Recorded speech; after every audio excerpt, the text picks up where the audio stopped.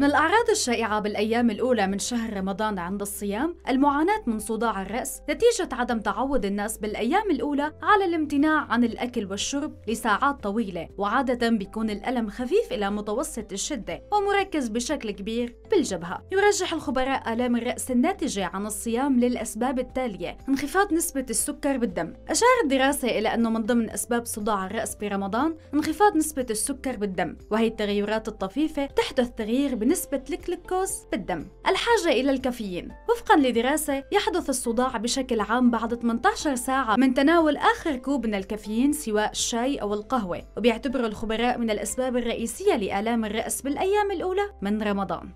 الجفاف. عدم الحصول على ما يكفي من السوائل لترطيب الجسم خلال فترة الصيام بيؤدي إلى إجهاد وآلام بالرأس. تغير مواعيد الوجبات. يؤدي تجاوز مواعيد الوجبات للإحساس بالصداع بسبب انخفاض مستويات السكر بالدم. التوقف عن التدخين. يسبب النقص بنسبة النيكوتين بالدم صداع لدى المدخنين. للوقاية من صداع الصيام ينصح بتناول وجبة السحور مع ضرورة خلوة من الأطعمة والمشروبات السكرية. عدم الإفراط بالطعام على وجبة الإفطار. تجنب الإكثار من المشروبات المنبهة. تخصيص وقت لتناول الوجبات وعدم ترك وجبة السحور خلال شهر رمضان المبارك.